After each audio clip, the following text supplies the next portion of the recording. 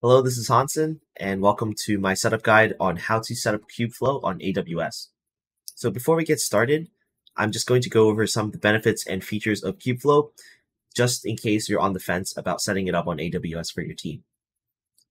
Before we go to the demo, there's also a prereq that you have to do, which is essentially just getting the AWS uh, access keys for your user, just so that we can set up the AWS CLI as we're going to be doing the entire installation through the CLI since I found that to be the easiest way to get up and running.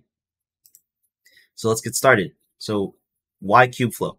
Well, Kubeflow is a MLOps tool that provides an end-to-end solution that connects a lot of the things that you do in the MLOps world to the benefits of containerization, container orchestration.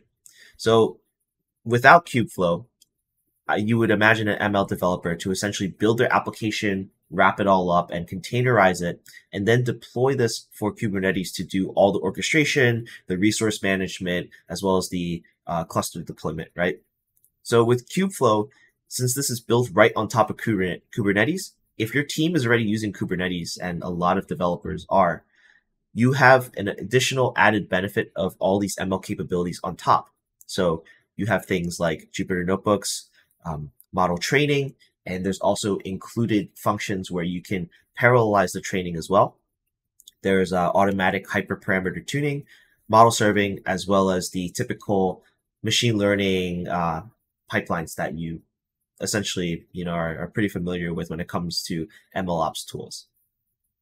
The other thing that you get too is that you get again scalability because of Kubernetes, but because things are Dockerized or containerized, you also can have this application work and be deployed in multiple cloud servers, right? So you're not bounded to some specific environment that only exists on one sort of device. And in addition to that, you also have the typical MLOps tools such as like version control and standardized workflows and um, the the tool's own version, I guess, of that, right? So what are the features based on the benefits that I just discussed? What are the specific features of Kubeflow that you're getting, right? So you can host Jupyter Notebook servers. So you can have different servers with notebooks inside that you can share and collaborate with other uh, team members. And each of these servers can have their own uh, Python environment. You also have Kubeflow pipelines, which is again, it's a lot of ML tools have this sort of pipeline sort of paradigm already. So with Kubeflow, it's it's nothing different.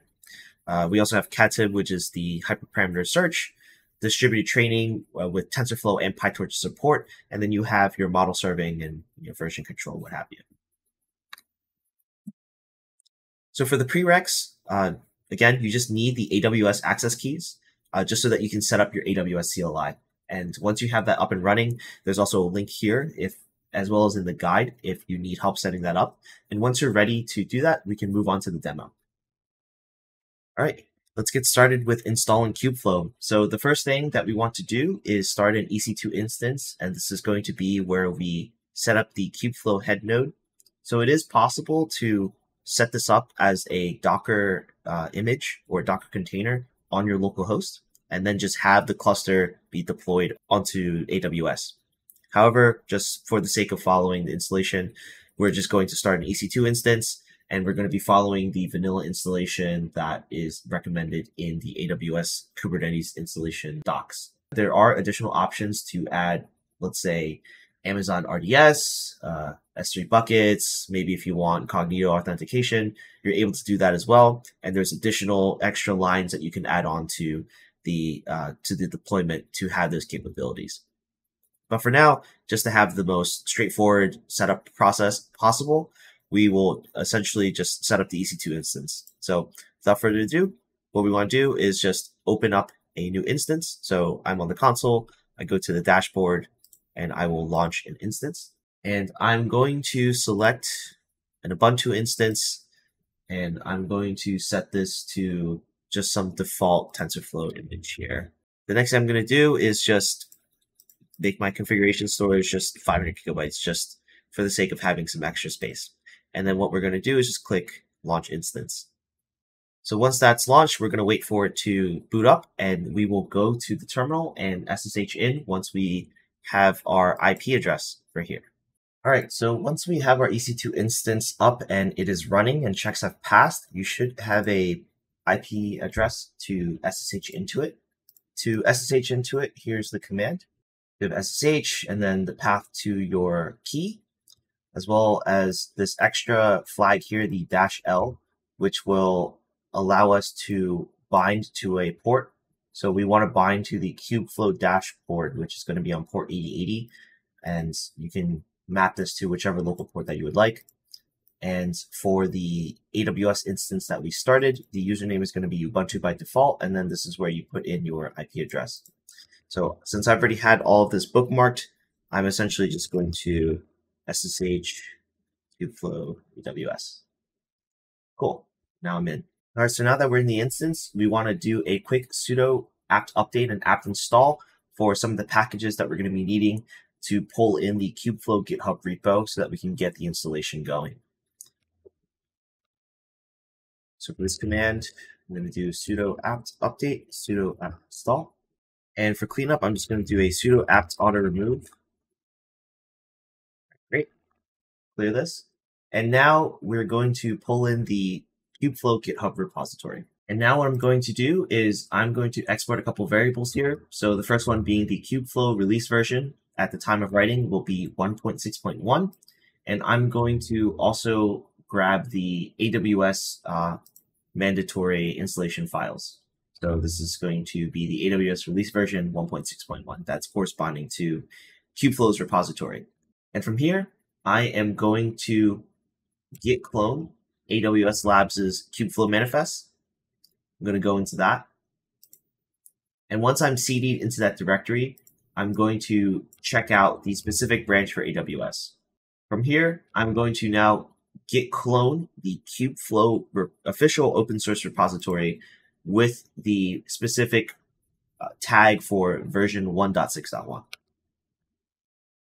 And now at the time of writing, uh, since Kubeflow's documentation is based on Ubuntu 18.04, we're using 18, uh, we're using 20.04.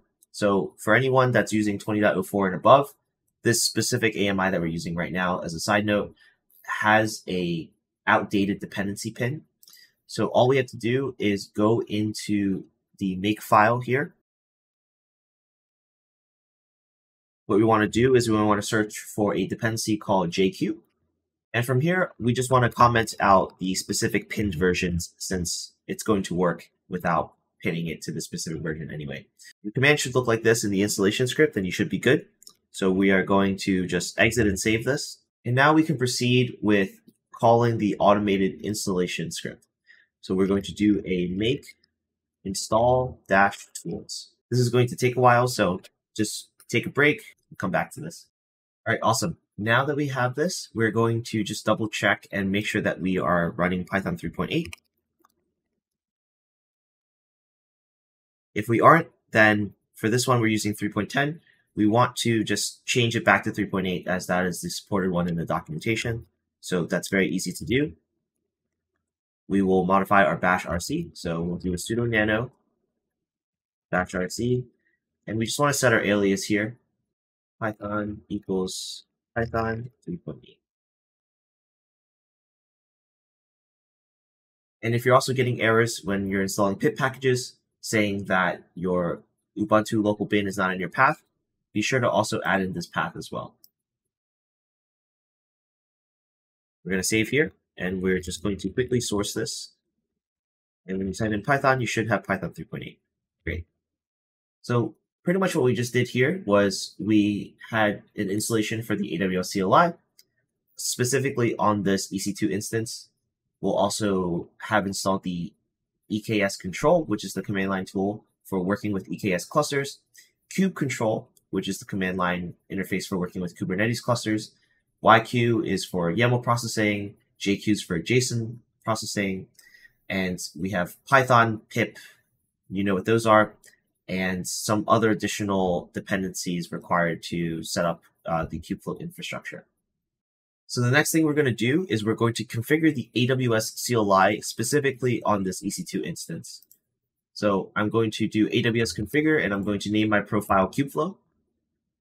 And from here, this is where you take your AWS access key as well as your secret access key and input them into this interactive terminal here. When you go through the setup, you're going to be asked after those two access key uh, requests, you're going to be asked for your default region name. So just select the region name that uh, you use the most. So for me, I'm using US East 1. Uh, and the default output format, make sure you put in JSON at the very last. Once you have your AWS CLI configured, we are going to now make sure that we use that AWS profile. So if you want to set this as the permanent profile to use, you can feel free to add it to your bash RC. For the time being, we're just going to export it here for our bash session right now. And if you want to double check to see if your CLI was configured properly, you can do AWS status, get caller identity. Now that we have our EC2 instance set up, it's time for us to set up our EKS cluster, which will be the actual cluster nodes that are actually doing the work. So to do this, we will export our cluster name. So for us, it's Kubeflow demo. Uh, well, for my EC2 instance, it's Kubeflow demo. So I'm going to leave it as that. And I'm going to leave my cluster region to be US East 1. And before we call this uh, EKS control CLI command, I want you to pay close attention to the note that I left in the blog post, which uh, discusses a EKS version change where if you are running an EKS version that is greater or, or equal to 1.23, make sure you look at the documentation to install the Amazon EBS CSI driver. And I've also linked that information into the blog post as well. So for us, we're going to avoid all this and essentially just install version 1.22 for this demo. So feel free to copy and paste the command in the blog post where we will define our cluster region, uh, the version number, cluster name, give a prefix to our node group name, as well as the type of node that we want to start. So for me, it was just m5.x large. And we will define other parameters such as how many nodes are in the cluster, how many are we going to have constantly on, which is nodes min, as well as the maximum amount of nodes that we want. And what you're going to notice that it's is that it's going to start creating this EKS cluster. This is going to take a little bit, so make sure you just go grab a drink or something and come back to this later. If you also look at your CloudFormation uh, section in the AWS console, so if I go over to my browser, you'll notice that in CloudFormation, you'll you'll see a CloudFormation stack start to uh, start to be created in progress. So CloudFormation is just AWS's infrastructure as code service, and what we just did on the CLI is that we launched a command that uh, instantiates an EKS cluster. And what this will do is that it will start to create all the resources necessary to create this Kubernetes cluster. In addition to deploying this EKS cluster, what this CloudFormation stack is doing is it's also creating a virtual private cloud for the cluster and configure it with the necessary subnets, route tables, and security groups. And the command will also create an IAM identity uh, for the EKS control plane to essentially control all your AWS resources automatically in the background. Now that the CloudFormation stack is all been deployed, you should see three completes. And also, if you look at your terminal, you should notice that now you are done with creating all of them and you are just greeted with a blank uh, blank input line in the bottom of your bash. So the next thing that we have to do is deploy Kubeflow to the EKS clusters. And what we want to do is we'll use Kustomize, which was one of the packages that was installed when we called the make install tools um, earlier in our EC2 instance. We're going to use Kustomize to now do make deploy Kubeflow, and we'll set our installation option to Kustomize And we'll click yes. Once that final long wait is done, you should be able to observe that a bunch of services have been deployed onto the EKS cluster. So there are a series of commands listed in the blog post to check if these services are up. So for instance, I'm going to just paste a couple of them. These are the kube control get pods, and then you'll pass in the namespace. So for example, I passed in to check if the cert certification manager was up and the Istio system. So once you check that everything is good and running, um, we should now be able to open up the Kubeflow dashboard.